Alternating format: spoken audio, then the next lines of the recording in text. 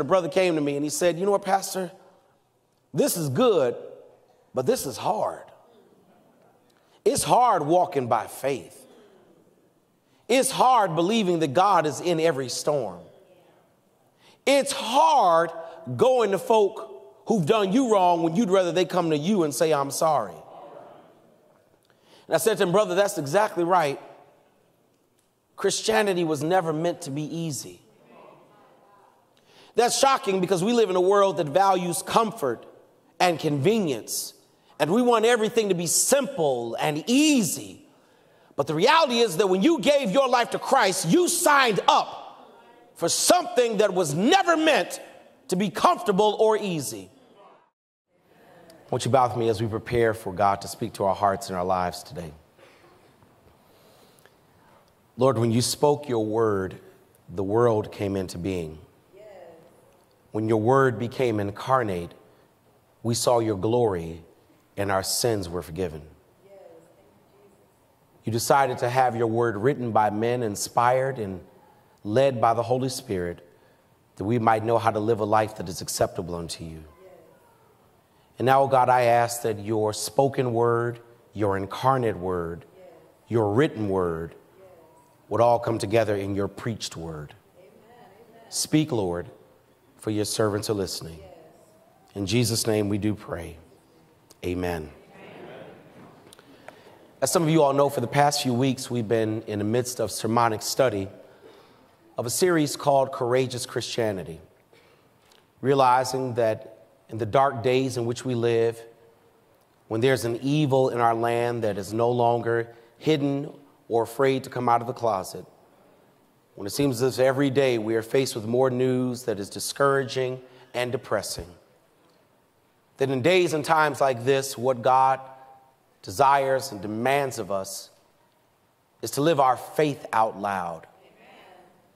To be certain that our Christian walk is not something hidden or anonymous but that we wear proudly with a badge of honor, remembering that Jesus calls us the salt and light of the earth.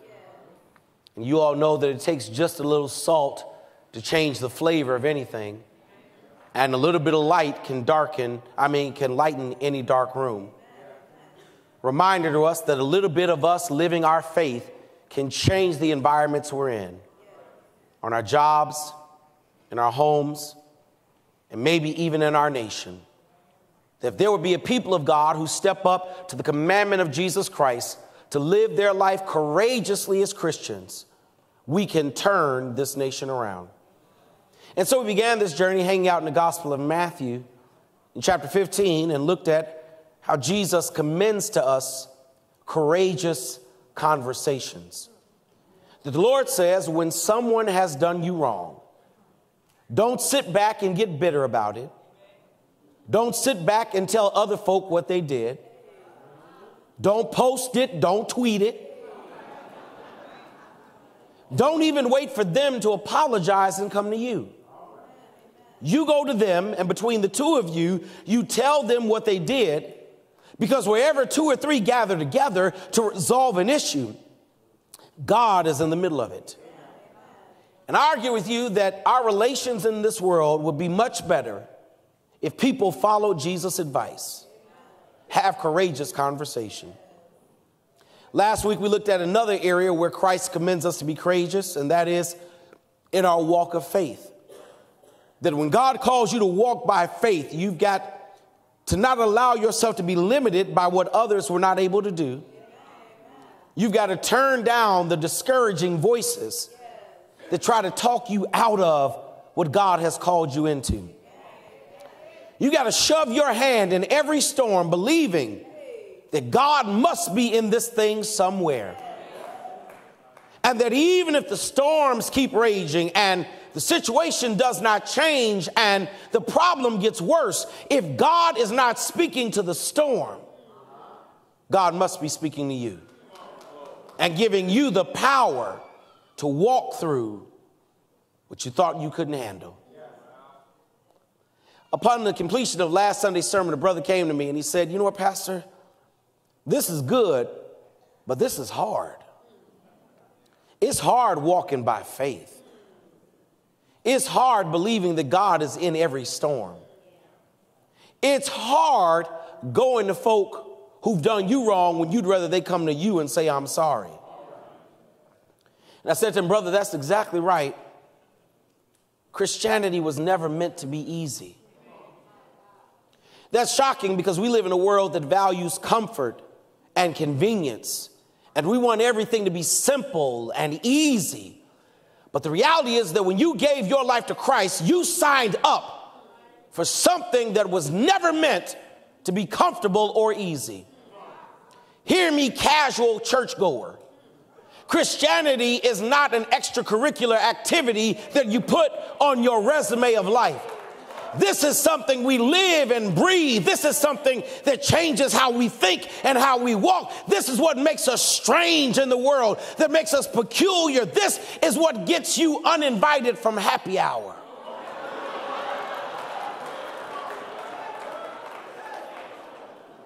This is a lifestyle that ought to make some people uncomfortable.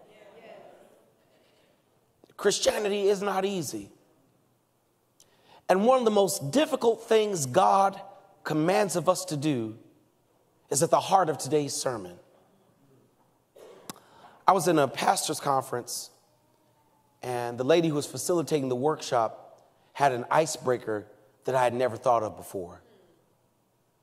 She gathered us all together, and here's what she said If you could remove one verse out of the Bible, which one would it be? If you could edit out one verse, what verse would you take out? Somebody here saying, bring the tithe to the storehouse. That.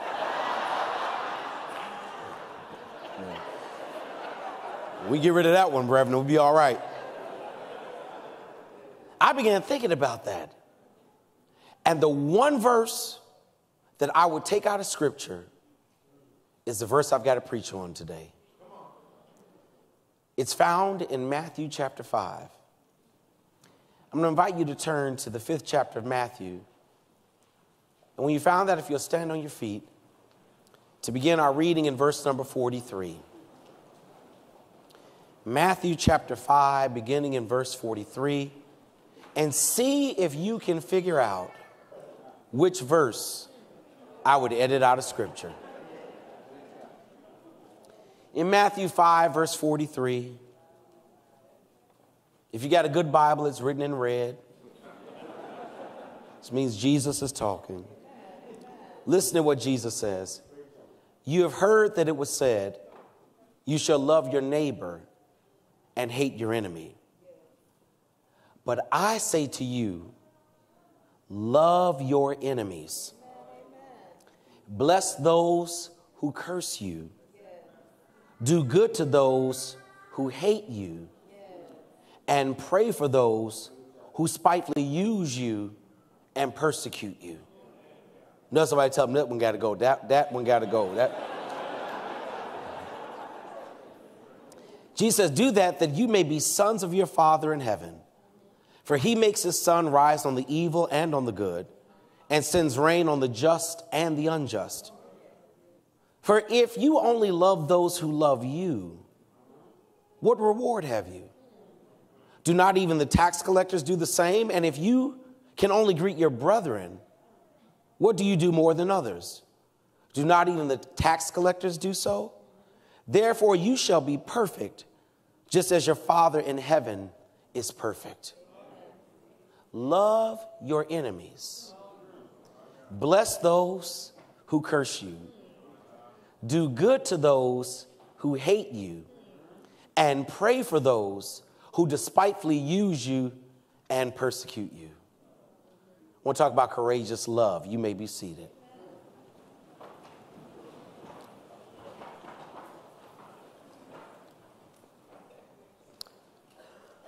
Those of you who've read through the Gospels in Matthew know that in chapter 5, Jesus is on the Mount of Beatitudes.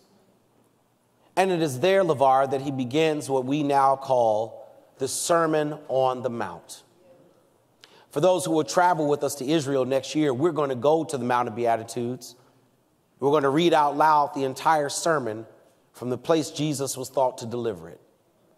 And you all know how the Sermon on the Mount begins. It begins with the Beatitudes, that, that listing of blessed are the such and such, for they shall be such and such. After Jesus finishes the Beatitudes, he gets into the heart of his sermon as he begins to give an exposition and teaching on the laws of Israel. The key to Jesus' Sermon on the Mount in chapter 5 is actually in verse 17 when Jesus says, Do not think that I have come to destroy the law, I've come to fulfill it. And after Jesus makes that statement, as you read through Matthew 5 this week in your devotional time, you'll see that Jesus engages in systematically examining six laws of Israel that he believes have been misinterpreted, and he will show a greater fulfillment in his own life. Don't miss it. Six times, Jesus lifts up a law that Israel lives by and suggests to the people of Israel, You've heard it wrong. This is what it really means. And the way you see it as you read through chapter 5 is this paralleling of two phrases Jesus uses. He uses the phrase repeatedly, You have heard it said, followed by, But I say unto you in verse 21, 27, 31, 33, 38, 43. Jesus lifts up the phrase, You've heard it said. He then quotes a law that is rooted in scripture and then says, But I say unto you. Don't miss this. He says, The law says there's a scripture and then he says, But I say to you, trying to help them understand how they misinterpreted the scripture reading. So let me give you an example. In verse 21, he says, You've heard it say. He then mentions a law about murder. If you've got a good Bible, there's a footnote right there that tells you that is law that comes from Exodus chapter 20. And then Jesus says, But I say unto you. Okay, in verse 27, Jesus says, You've heard it said. He mentions a law about adultery. If you've got a good Bible, that Bible tells you that that law comes from Exodus 20 and Deuteronomy 5. In verse number 38, Jesus says, You've heard it said, an eye for an eye and a tooth for a tooth. If you've got a good Bible, that Bible tells you that's Exodus 21, Leviticus 24, and Deuteronomy 19. Here's the pattern. You've heard it said, law, scripture, but I say unto you. Now, that's the pattern that is working when you get to verse 43. Jesus says, You've heard it said, love your neighbor and hate your enemy. If you got a good Bible, there's a footnote right there that tells you that comes from Leviticus chapter 19, verse 18. The problem is when you go to Leviticus 19, 18, Stephanie, all it says is love your neighbor as yourself. Don't miss this. Jesus says, You've heard a law that says love your neighbor and hate your enemy. But the law actually says love your neighbor. Okay, no, you ain't caught it yet. Jesus says the law that you all are living by says love your neighbor and hate your enemy. That comes from Leviticus 19, but Leviticus 19 only says love your neighbor as yourself. There's nowhere in Leviticus 19 that says hate your enemy. But Jesus, you said the law is to love your neighbor and hate your enemy. If the law only says love your neighbor as yourself, here's the question you ought to be asking where does the hate your enemy come from? You with me still? It's Bible study. The law says love your neighbor as yourself, but by the time Jesus addresses it, he said, listen, y'all are living by a law that says love your neighbor and hate your enemy, but where did the hate your enemy come from? Can I tell you where it came from? Somebody added it. and they added it and said it so much that by the time Jesus shows up, it's a law in Israel that says, hey, you can love your neighbor and hate your enemy and be right with God. That hate your enemy is something that was added from human heart. Because if we can be honest for just a brief moment, hating your enemy is instinctive. Hating folk who've done you wrong is natural. Wanting to get ugly with people who've gotten ugly with you feels good. As a matter of fact, let me prove it to you. There's not a person in here who hasn't sat back and imagined all the ways you could get somebody told and get even with them, and it made you smile every time you thought of a new way no, somebody, he's talking to you now. He's talking to you.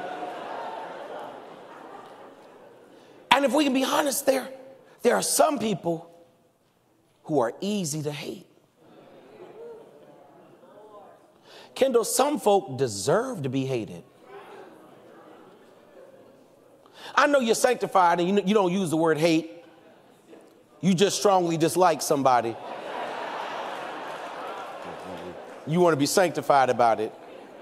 Um, people who openly lie to your face, they're easy to strongly dislike. People who betray you openly and stab you in the back, oh, I got you. People who say something to others, but they don't have the courage to say it to your face, folk who wave Confederate flags, people who molest children, those are easy to hate. And Jesus says, listen, if you hate your enemies and you can only love people that love you, you're no better than a tax collector. Now, before you get a problem with folks that work for the IRS, let me make certain you understand. Tax collectors were Jews who worked for Rome to take money from other Jews. They were viewed as the lowest of society. You sold out to Rome and take advantage of your own people.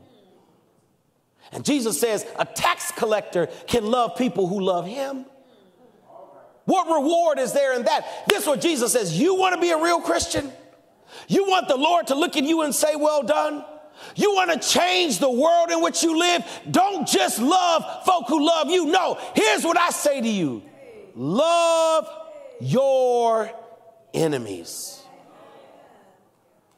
Can you imagine how that sounded to Jews who knew Jesus was talking about Roman citizens?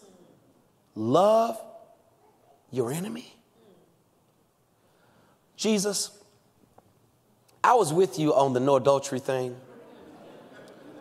Um, I, I, I had your back with the don't murder. I even gave you a vote for the no eye for an eye and tooth for a tooth. But loving your enemies, you just went one step too far. Because if there's one verse I could take out the Bible, it'd be this one right here. Because it's not easy to love your enemies. It's not easy to bless them that curse you. It's not easy to do good to them that hate you. It's not easy to pray for them that persecute you. Yet Jesus says, if you really want to be identified as one of my disciples, if you really want to be a child of God, if you really want to be a vessel of the Holy Spirit, prove it by loving your enemies. And now you're here in sanctuary, you can't leave without being identified. Now you got to hear the whole sermon and be held accountable for loving your enemies. Here's what Jesus says I want you to practice some courageous love by loving your enemies. So I had to do some understanding because this is the verse, Beverly, I want to take out. This is the verse I don't want to live by. This is the verse I don't want to obey. But since it's in there, I had to do some research to understand what do you mean by love your enemy?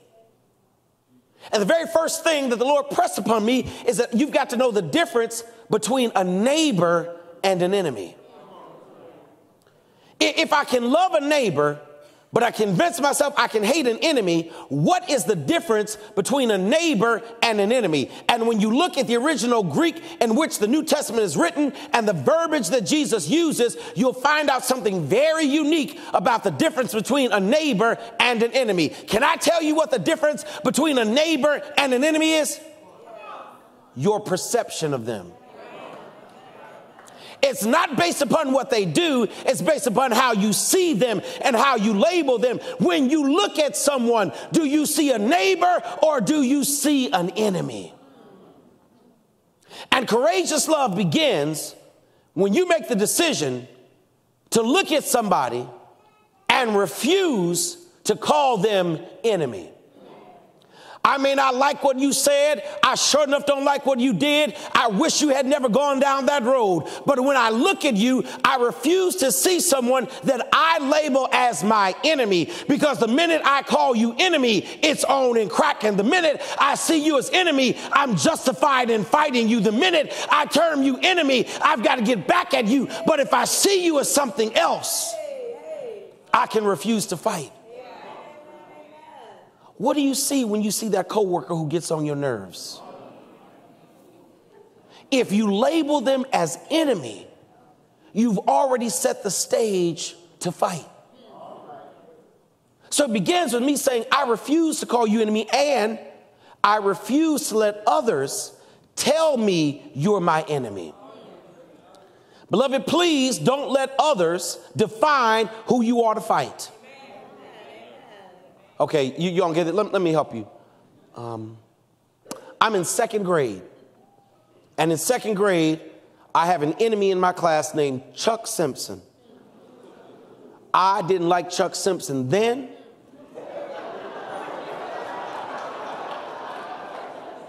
And if I see him today, we're to have to have a come to Jesus meeting. Why, why in second grade did I not like Chuck Simpson? Because Chuck started calling me a name that stuck with me through fifth grade. Chuck called me Howard the Coward. Don't even think about it. and, and, and I really didn't like him because that's one of them names that just sticks with you. Kind of like when people call you Pee Pee. You know, you just can't, you just can't outlive that name. And so I made it my calling in life to embarrass him as much as I could. I remember we were in class one day and the teacher asked a question and Chuck raised his hand and gave an answer. The teacher said that was incorrect, but I knew what the right answer was. So I jumped up, waved my hand. She didn't even call on me. I shouted out what the right answer was. She said, Howard, that's really good. Chuck, you need to go do your homework.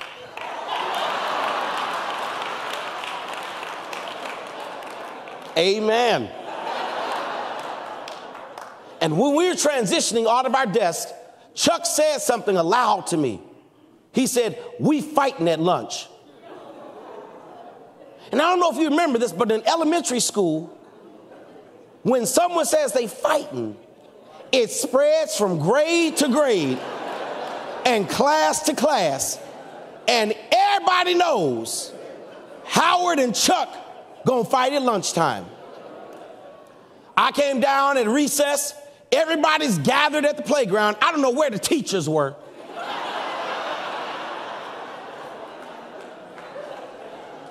and Marcia, what they do, your friends will grab you and they'll come on, man, and they'll take you and they'll push you in a space and then form a ring around you because you can't get out. If you try to get out, they push you back and holler, fight, fight, fight, fight, fight. And so Chuck and I had to fight because others made us. Now, now I want to make sure you know the end of the story because someone's going to ask if I don't tell you. How did, how did it go down? I got suspended because he got stitches.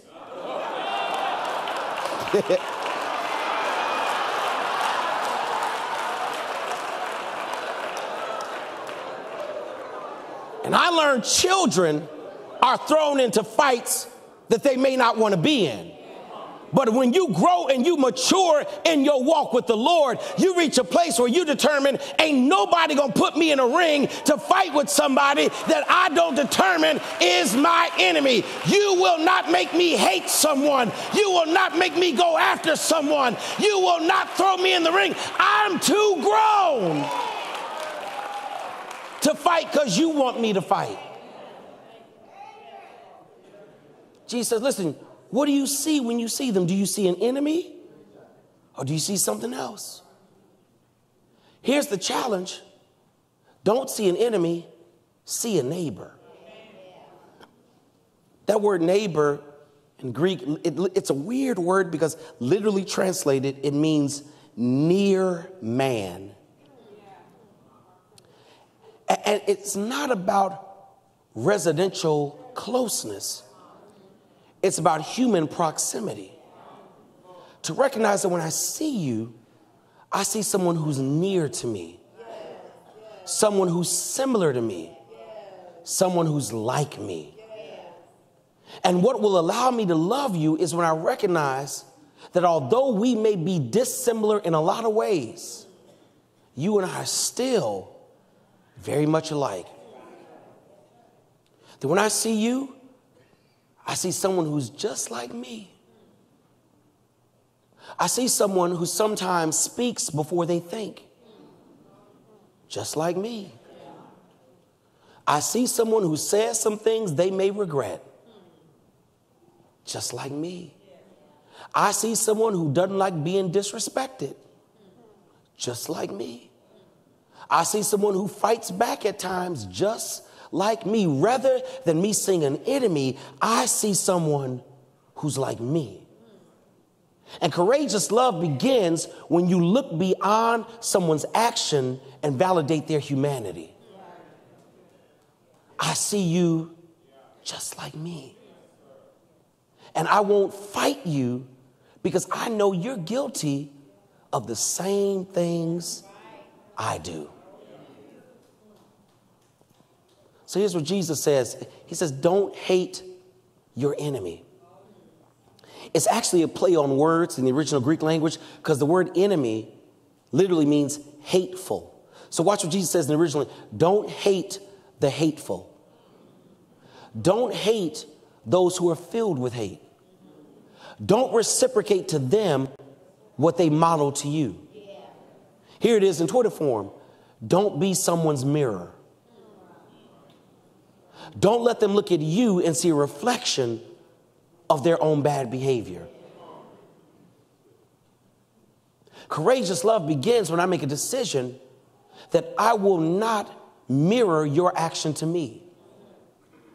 But I'm going to do something different. Jesus said, listen, listen, in case you don't know what it means to love your enemy, don't mirror them. Here's what I want you to do. And he lists out three things you ought to do to show that you love your enemies. He says, do good to them that hate you.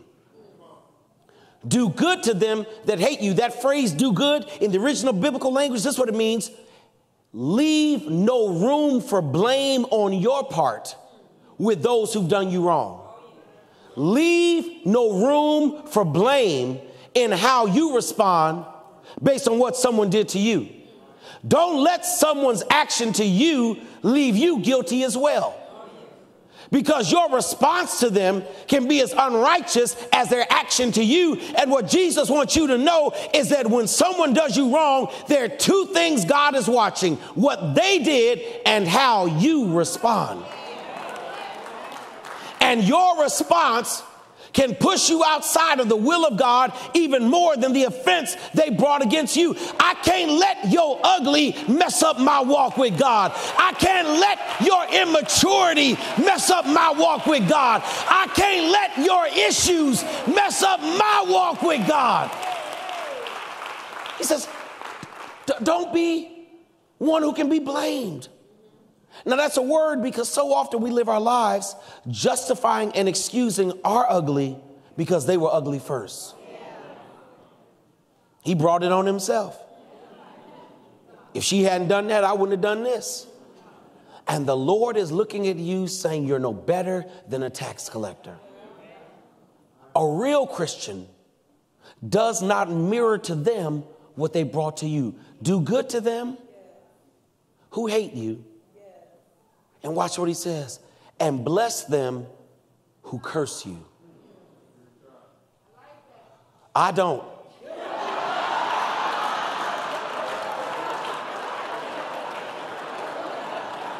Because if I can raise my hand, Lord, this is where I need some help.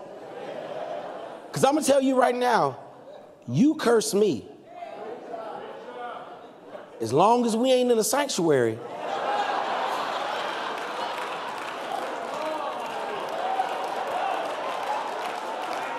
you might get cussed back. Look, I'm saved, but I ain't delivered from everything. I'm letting you know right now. What, what those say, please be patient with me. God is not through with me yet. Uh, I, I know how to put some words together that ain't in scripture. It is not in my nature to bless someone who curses me. Amen. I'm telling you, you, you let it come, I'm coming back. And I'll just ask the Lord for forgiveness next week. Amen. Lee, I have a friend that told me altar call ain't fun if you can't repent over something. Amen. I, I got to have something to repent over. He says, listen, if someone curses you, bless them. Hope I had to figure out what that meant, so I looked it up. The word bless that Jesus uses is this Greek word eulogeo. Eulogeo, which literally means speak well of words well spoken. When someone curses you, speak well of them. Mm. When someone does evil to you, speak well of them. When someone takes it in the gutter, speak well of them. Now, can I help you? Because this is a challenge. Sometimes speaking well means that you choose not to speak evil. Okay, so, so one form of eulogeo is silence. That when you've taken it to that level, when you've cursed, when you've taken it and done something that should not be done, that I am in my Christian right to just engage in silence. Because let me give you this for free People can't misquote silence. Because there's some people, no matter what you say, they're going to turn it around. They're going to spin it against you. They're going to find a way to lie with your own words. So I've learned in some circumstances, I'm just going to keep my mouth shut. I don't have to speak on every issue. And today I want to engage you to join a new ministry at Alfred Street that I'm starting. It's called the Ministry of Silence. we'll be signing up volunteers in the narthex on your way out of church. But sometimes the courageous love is that which says, I'm not going to say anything. Eulogeo, it's where we get the word eulogy. And you know what a eulogy is, right? A eulogy is when you're speaking over something that's about to be laid to rest. Eulogy is what you say when you're about to put something in the ground and bury it. Eulogy is the words that come out when you declare, I ain't looking at this no more. I'm not touching this no more. I'm not dealing with this anymore. That there comes a moment when Christian love demands not only that I not speak, but watch this, I'm not dealing with this anymore. I'm not going down that road anymore. I'm not opening that door anymore. We're not revisiting that issue anymore. I am moving on in my life, and this thing is being put to rest. Let me help somebody with an easy amen. Christian love does not demand continual relationship. Christian love does not demand that we always sit at the table, that we got to go to lunch with each other, that we got to answer the phone. No, there comes a moment when, for my well being, I realize I got to eulogize this thing. I got to put it in the ground. I got to say ashes to ashes, dust to dust, The Lord is given, the Lord is taken away. Now may the Lord watch between me and thee while we are absent one from another. This thing is eulogized. Practice, do me a favor. Know somebody tell them, I'm done with it. I'm done with it. The Christian love realizes I reach a place where I'm not going to keep getting dragged back in to something I'm moving on from. He says, Do good to them, bless them. And here's what Christian love looks like pray for them. Judy, I'm challenged. I wish Jesus would have said, Pray about them.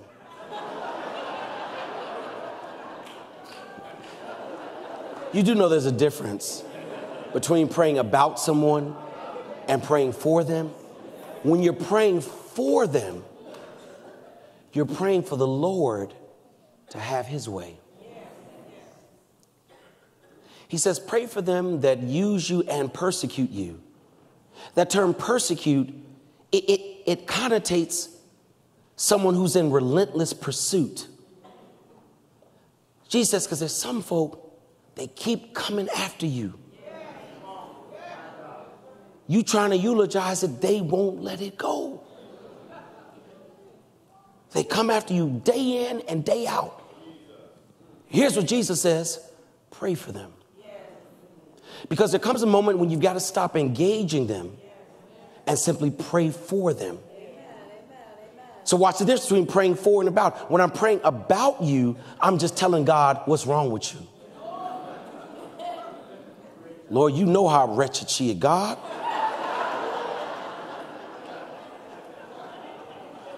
Here's praying for someone. Lord, heal them of that issue. Here's praying for someone. Lord, bring so many blessings in their life that they forget about me. Ooh.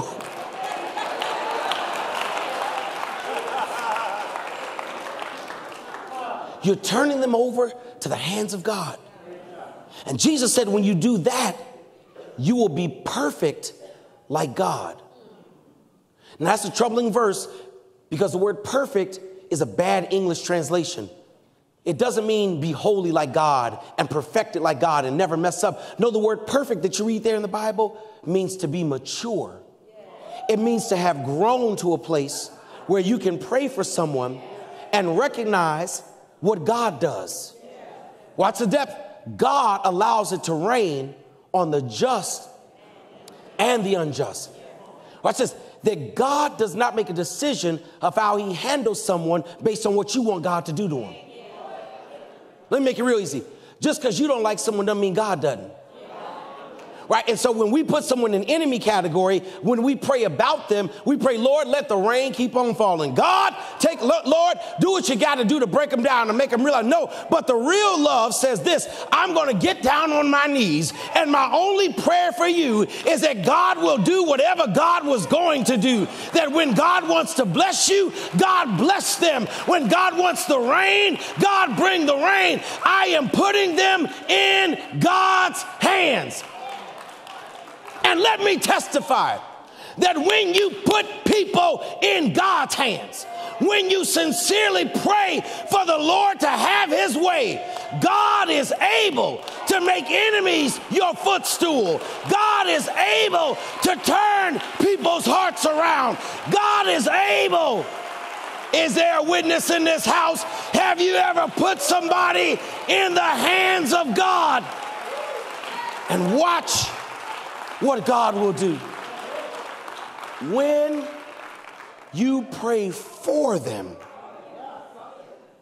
God takes over. God says, You let me handle the rain and the sunshine. You let me handle the discipline and the blessing. You let me handle the outcome of their life. Courageous Christian love says, God, it's yours. Somebody today, there's an assignment of homework when this sermon is over for you to go in tomorrow and not see an enemy. Walk in telling yourself, I do not have to fight you today. I don't have to hate you today. Because I know something. You, you're, you're just like me. And when I look at you, I see someone that God tells me to do good to. God tells me to bless, even if that means keeping my mouth closed. Good morning may be all you get from me today. And God is going to smile on me because I spoke.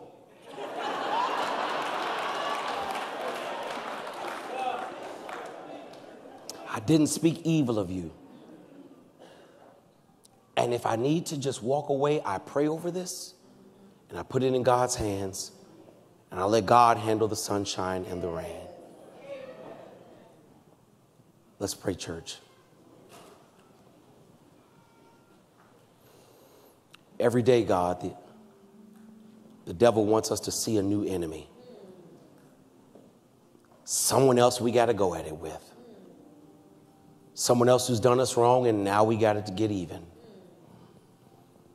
And I pray today that when that happens tomorrow, God, it may even happen by the time we get to the car. Remind me to love my enemies, to see them as someone like me, not someone I need to fight. To recognize that I've got to live my life in a way where there's no blame on me because of what they did. That I'll speak well of you, even if that means saying nothing or determining that I'm not going to deal with this anymore. Yes. God, that I pray for them. Right now, I want the Holy Spirit to put in the image of your mind someone you thought was an enemy, and I want you to pray for him. Pray for the Lord to have his way. Pray for God to bless them, to heal them, to rain on their field, to bring sunshine for their harvest. God, I pray for him this morning. I pray for her this morning that I might walk in courageous Christian love. It's in your hands now, God. I will not put my mouth on this again. In Jesus' name, amen.